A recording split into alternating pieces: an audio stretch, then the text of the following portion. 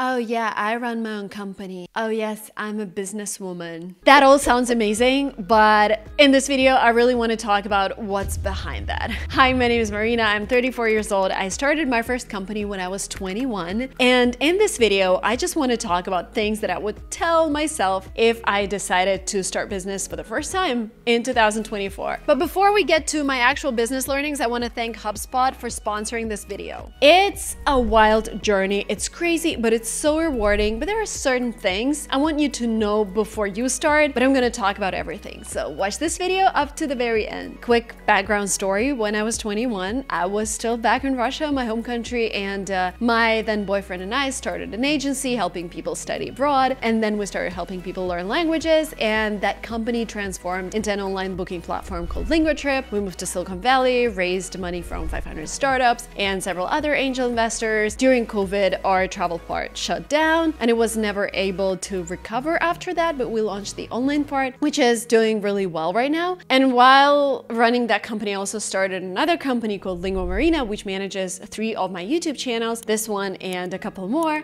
And uh, I was able to raise a venture round as a creator from a company called Slow Ventures here in Silicon Valley. But today are my key learnings from doing business for 13 years. I'm not that old. It's crazy. Now, the first thing, when I was, I think I was 25, and we are going through an accelerator in back in Russia, and they asked us a very good question. They asked us why we were building the company and there were like three options one to sell it second to keep it because we think it's a lifestyle business and the third is to ipo and when i looked at those options i was like of course, number two, like who starts a company to sell it? Who starts a company to, well, IPO could be possible, but like Number two, I love it this company is my child. And now I realize this is such a weird mindset for the first business. Yes, your first business could be something that you do for your whole life, but just having this mindset, oh my God, I'm stuck with this idea for the next 30 years, this is not the right mindset. And the more and more I talk to entrepreneurs, the more I realize that we were just lucky that our first business idea actually made sense because I went into the space that I absolutely loved. And maybe I am that person who has to work work on something I truly love, despite this not being the sexiest market in the world. And this is where you have to decide what type of mindset you have, what type of person you are. There are people like, I don't know, Kagan, there are people like Mark Zuckerberg who were just testing different ideas and uh, they try to see what sticks, what kind of problem uh, is the best to solve right now. And there are people like me who are like, I just understand you know, study abroad. Now I also understand social media and I just want to stick to it. I don't want to sell. I don't see myself without this company. And that's probably one of the reasons why I am still active in both companies. But it's just, you know, with the second approach, it may take you years before you find that right idea. So if you want to start a business now, just be ready to iterate through ideas, just go through them. I just recently talked to Raj from um, Solana. So he co-founded this blockchain, which is valued at, I think, 70 billion billion dollars. And he started like nine companies in a year and all of them, well, some of them failed, some of them took off without him with other co-founders. But his mindset was, I will keep looking for ideas until I find the one. And it doesn't matter if I'm 95, I will still keep looking for ideas. But luckily enough, he founded Solana. But I also asked him about family, like, but how do you start a family if you have this mindset? You can't just be iterating and having kids because it's just impossible. He's like, family was not on my roadmap because of that. I was like, okay, so if you have this mindset, it's really hard with a family. So this mindset is does not apply for me because I always knew I wanted a family and I knew that for me, my business has to provide stability. Just think about where exactly you're at with your mindset. And this will make everything so much easier for you because I was blaming myself for not chasing other ideas. I was like, maybe I should try this and that, another Silicon Valley hype until I realized like I have to fall in love with idea. I don't care if it's a billion dollar market, if it's sexy or not. All I care about is that I care about people who have this problem. And that's it. Now, once you realize what type of person you are and you start something and you're passionate about it, but how do you know when to stop? And I keep asking entrepreneurs this question as well, like when do you know it's time to give up, when do you know that it's not growing, etc. And there are several different rules that apply to Silicon Valley companies or businesses in general, because you don't have to be a Silicon Valley company to have a successful business. But what I'm taking away from all of the answers, you have to come up with a certain metric before you even start. For example, you're starting a business and you know that you have six months uh, worth of savings. And uh, in order to continue doing that, you need at least like 100 clients. That's your proof of concept. So come up with that number and it's okay to change it later. It's just very important to mentally understand where you want to stop. And for me with LinguaTrip, I'm like, okay, as long as it pays the bills, this is great. Like, I love it. I love the industry. In this video, I'm focusing more on your mindset and the right approach to starting a business rather than paperwork or detailed business plans. However, my hope is that you take action after watching this video, and in that case, you'll need more practical help with starting a company. That's why I recommend downloading this free templates from HubSpot in the description below. They will help you turn your idea into an actual business. It's actually a free business startup kit that includes a business name brainstorming workbook. Really important. Check the trademarks because you know I made this huge mistake when I um, took a name, LinguaTrip, and it was actually trademarked in one of the countries. So we had to pay $20,000 to the person who owned it. So double check. So that workbook is really helpful. Business plan template, marketing plan template, and much more. Personally, I really like the eight elevator pitch templates from this kit because you will need to practice your elevator pitch because you're going to be pitching your idea to your friends, investors, and just random people. These are practice tested text structures, so you don't have to reinvent the wheel. Just take the ready-made working texts and adapt them to your needs. This kit was made by HubSpot, who's sponsoring today's video. Big thanks to them for providing this free resources. Point number two, set up a metric for you that will tell you when to stop because not every single idea becomes a business. And there are several metrics like Silicon Valley, you have to grow 2x every month if you're just starting out, etc. There are different metrics and, and every VC will have their own, but you don't have to be a Silicon Valley company in order to be a successful company. So it's really important for you to decide how much time you have and uh, what makes an idea a good idea. So for example, for me, it was very crucial to be able to find our first clients and we're just lucky that, that our clients were studying with us. And that was a great proof of concept that if I want this product and if a couple of my friends want this product, and uh, I understand like we are in a good university in Russia, etc. But I could predict how big the market was and that was enough for me. But if I start something and I just don't see any clients and I have no idea how I find them, that's a great question to ask yourself. Like, is it really viable? Does this idea have to exist? And I like what Noah Kagan told me during our interview. He was like, I would post on Reddit that, you know, I will give you a coupon for this app for this amount of dollars, or I will do this for you for this amount of dollars. And he started seeing what took off and, and what didn't. So come up with a metric that you can reach by easy tests because sometimes we just don't know what success is and defining early success for yourself will really help you determine whether you're going to continue working on the idea or not.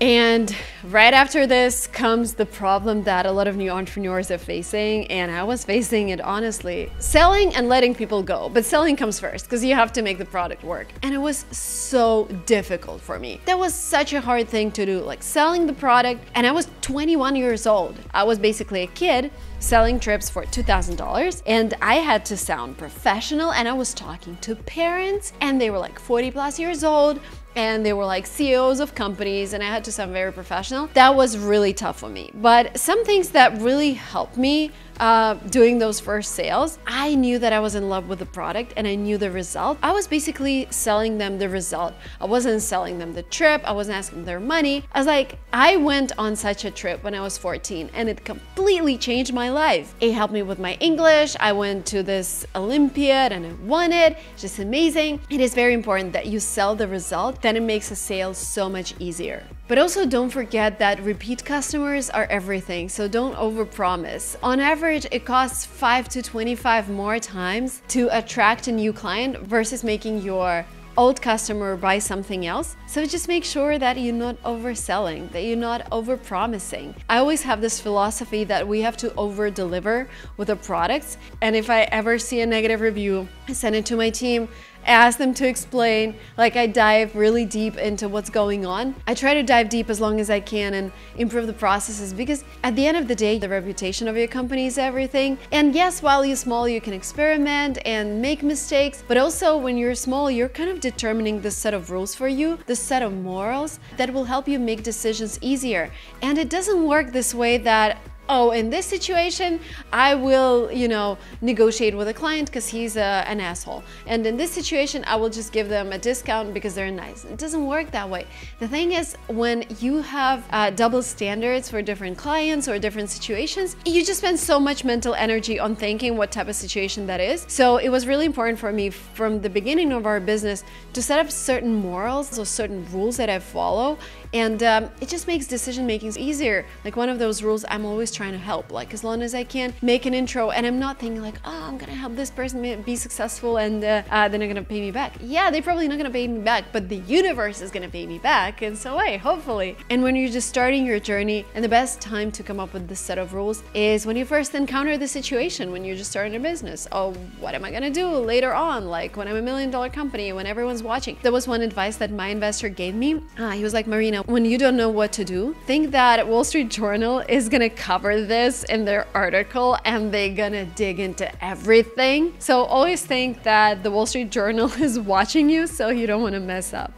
I hope this helps. This might sound like a cliche, but well, Sorry, you have to grow your social media as an entrepreneur. You have to be a producer for your own image as an entrepreneur. You will also have to produce your company's social media and just understanding the rules by which the industry is playing right now. And they're constantly changing. So it's not like you figured it out and you stop and then it works for years. Unfortunately, everything changes every couple months. The algorithm changes. So if you ask me, I think every entrepreneur has to have some kind of social media presence because this is how people not only find out about about you, but also find out about your company. And your audience is a great base to test your new ideas. You can ask them if they actually have this problem. And a lot of products at LinguaTrip were actually inspired by our audience. They were like, oh, we really need to study online. But I was like, no, learning languages abroad is the best way. Why would you study online? But when they asked us for a Skype teacher, uh, it was back in the day for like uh, 20th time, I was like, okay, we need to think about that. Um, so the best ideas also come from your customers. The best video ideas come from the comment section. So, so really try to start playing the social media game no matter where you are in your journey. If you're already building something, document that. If you're not building something,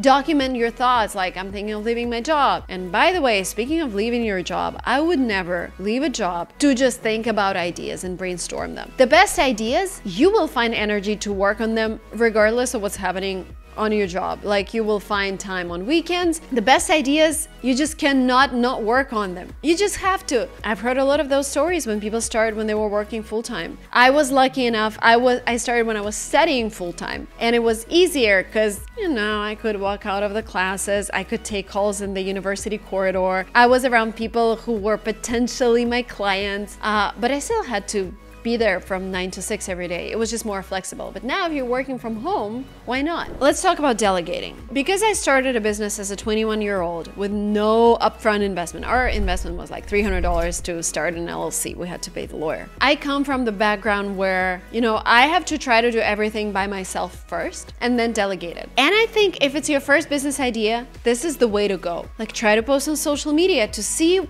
what it looks like, what it takes. Because otherwise somebody comes in and tells you like, I'm gonna charge you $3,000 for three reels and you'll be like, oh, maybe that's how much it costs. Okay, take my money. And then they're not performing. But if you know what it takes to create a reel and if you know what it takes to create a good reel, then you can negotiate and tell like, hey, no, I can delegate this to people in uh, other countries and they're gonna charge me $25 for the whole video. And honestly, because you're starting this, no one can do better marketing and sales rather than you because are the DNA of this company. You are basically the product of this company if you are a type like me who wants to build something they're passionate about. So if I were you, I would start by doing everything by myself, but at some stage you stop and you start delegating. And the worst mistake is to start delegating too late because that means you're wasting your energy on day to day instead of strategy. So at some stage, and this is my favorite thing to do every day, when I do something, I ask myself a question Do I have to be doing this? Or can somebody else do this? So when I'm filming this video, I know for this channel it's me. For Linguamarina, we have a teacher and sometimes she replaces me. Our students don't mind, they love her. I keep asking myself this question, do I have to edit the video? Do I have to translate all the documents? Eh, that was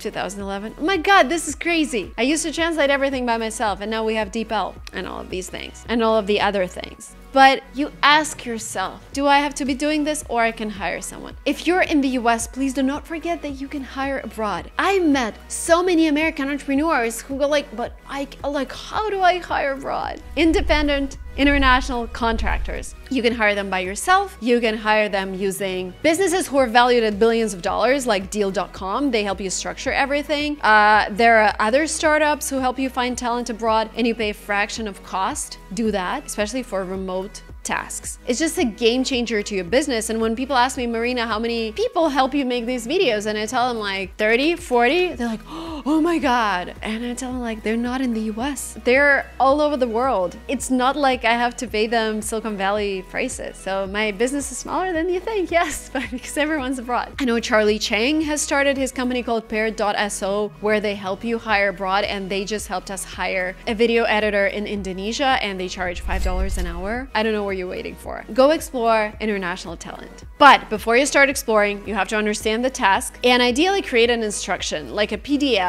uh, that your new contractor will follow. Like, oh, if I'm talking to this client and to this, this, and that, this is our tone of voice. This is our style. I remember it took me a while to create all of those, but it made my life so much easier. And so for every function now, we have those instructions. And when they come in and they receive a new instruction, they will just update the file. And it's very easy for me when somebody graduates from their job, somebody new comes in, they already have all of the updated instructions and I don't really have to spend too much time onboarding them. them. So make sure you are focusing on your superpower and your superpower is just driving this business to the moon and making sure you're helping people save their problem. The team should be doing the rest. I participated in this two-day intensive management training back in Dubai last year and uh, we were discussing top entrepreneurs and uh, top entrepreneurs spend most of their time hiring talking to candidates, doing interviews because their job is to find the best people to make things happen at their company and they are the vision. Let's talk about network. Let's talk about ways I lost my precious time when I was starting my business. When we just moved to Silicon Valley, we went into this accelerator and I got distracted by all of the parties that we got invited to. I thought it was very important to network, though I didn't have any ask. I was kind of fundraising, but I knew that going to startup parties doesn't really help you fundraise because everyone is kind of just thinking about their idea or just starting out. And I was just going and going to those parties until I realized I had to be working on the product. So networking is important. And now I spend maybe 30 to 40% of my active work time networking, uh, going to conferences, having meetings with companies and just meeting people in general. But the foundation is actually the product that I've built. And now networking is an essential part of my job. But when you just start out, you don't really have to network. The time when you have to start networking is when you start having clear ask. That could be fundraising, or maybe you're stuck in your journey as an entrepreneur, you don't know how to hire, and you want other entrepreneurs in your circle who can teach you how to hire or recommend places where to hire. So networking can be kind of distracting when you see others post on Instagram, I'm networking, whatever. If you don't have a clear ask, nothing will come out of that networking. People, especially in the US, are very business oriented. If there is no business, there is no need to spend your time and other people's time. Love your mistakes. So I lost money somewhere. I made a stupid mistake. I lost money. And I caught myself not really worrying about it because it was a business mistake. I tried something and uh, I failed. And and I realized that it's actually great quality because I remember seven years ago when I made a huge mistake and I lost back then a lot of money. I spent much more time trying to chase that company that defrauded me. And I kind of won, but I didn't get my money back. But the thing is, what I realized a successful entrepreneur actually loves their mistakes. Yes, you ask yourself why this happened. What did I learn from it? How can I prevent this from happening in the future? But you're not punishing yourself for, for these mistakes. You're not telling yourself that you're not built for this. Like, don't even go there. The best entrepreneurs, they view mistakes as the best lessons. So whenever I make a mistake, and again, I'm a, I'm a very emotional person. If I'm wrong, if something goes bad in the business, if the client is unhappy, if there is a bad review, like my first uh, natural instinct is scream and like tell everyone how did that happen? Or blame myself for not being attentive enough to detail whatever. But then I tell myself, like, it's actually great that they told some negative things about our company because now I see them and we can fix them. If they were just quiet, maybe, you know, I wouldn't notice it. So, of course, bad reviews happen or mistakes happen and uh, hiring wrong people happens. But if you compare Marina now with Marina 10 years ago in 2014, like my hiring decisions back then, I felt like I was a three year old. Now, my team is amazing. Like, and back then, I would just promote a social media person and make them the COO. That was the type of manager I was. I've learned the hard way. Even if I took the course 10 years ago, I would say, like, nah, I know better. This social media person is amazing. They're gonna run the company to the moon, uh, billion dollar valuation. That was how I thought. So I'm telling this to you now, not because you need to question your hiring decisions. You probably won't question them after watching this video, but if you later realize that this was a mistake, just praise yourself and tell yourself, this is how I'm becoming a better manager. I know it's hard. Again, remembering all of my emotions that I had when I made mistakes, it's really hard. This is how you learn, and this is what makes your journey exciting. And uh, and at the end of the day, entrepreneurs are people who don't like stability. They like ups, like crazy ups and crazy downs. This is what makes our life interesting and exciting. This is what gives us joy and adrenaline. I'm wishing you all the best on your journey. Thank you so much for watching Silicon Valley Girl. Please subscribe and share this video with your entrepreneur friends and see you soon. Bye.